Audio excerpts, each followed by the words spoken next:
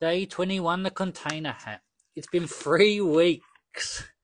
Keep that paint wet on your lunch break or overnight. Let's have a look. The paint is looking beautiful. No skin. The ferrule is looking great and the heel is looking great too. Now let's check inside the heel. We do that by flicking the brush. Make sure it goes back into shape. It looks great. Feels great. Keeping that nice shape. Beautiful. Day 21 is a success. That's three weeks. And uh, go to paintxtra.com to check out our specials. Can keep your paint wet overnight or during your lunch break. Day 21, a success.